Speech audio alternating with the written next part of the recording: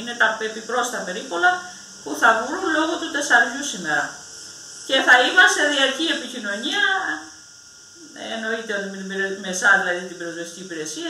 Η αύξηση του δίκτυου επικινδυνότητας για των ομοχανίων στην κατηγορία 4 για σήμερα και αύριο θέτει σε επιφυλακή τις αρχές. Οι υψηλές θερμοκρασίες που επικρατούν σε συνδυασμό με την ενίσχυση των ανέμων ευνοούν την εκδήλωση πυρκαγιάς.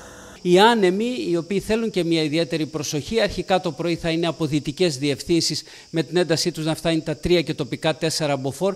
Λίγο αργότερα όμως θα ενισχυθούν, φτάνοντας τα 5 και τοπικά 6 μποφόρ. Και αυτή η ενίσχυσή τους, επειδή θα γίνει και λίγο απότομα και λαμβάνοντας υπόψη θα είναι μια πολύ θερμή ημέρα, καλό είναι να λάβουμε κάθε δυνατό μέτρο προστασίας όσον αφορά την, ε, τον κίνδυνο μιας πυρκαγιάς. Σύμφωνα με τον χάρτη πρόβλεψης κινδύνου πυρκαγιάς της Γενικής Γραμματείας Πολιτικής Προστασίας, τα Χανιά βρίσκονται μία κλίμακα κάτω από την κατάσταση συναγερμού, το Ρέθυμνο και το Ηράκλειο είναι στην κατηγορία 3, ενώ το Λασίθι στην κατηγορία μέσου κινδύνου. Σε αυξημένη ετοιμότητα βρίσκονται οι πυροσβεστικές υπηρεσίες, ενώ με απόφαση του Αντιπεριφερειάρχη Χανίων κλειστό παρέμεινε σήμερα το φαράγγι της Αμαριάς, όπως και τα φαράγγια της Αγίας Ειρήνης και της Ήμπρου. Πειθαρχούμε σε αυτή την απόφαση και παράλληλα συμβάλλουμε ε, στην προστασία των οικοσυστημάτων της περιοχής μας με ευξημένα περίπολα σε κάθε δίχτυ επικοινωνότητας 4 σε συνεργασία με την πυροσβεστική υπηρεσία, την πολιτική προστασία, την αστυνομία, το στρατό.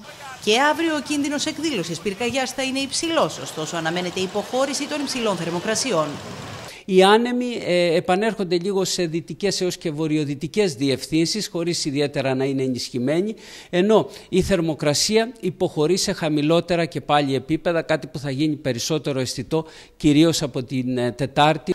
Η Γενική Γραμματεία Πολιτικής Προστασίας καλεί τους πολίτες να είναι ιδιαίτερα προσεκτικοί και να αποφεύγουν ενέργειες στην Ήπεθρο που μπορούν να προκαλέσουν πυρκαγιά από αμέλεια.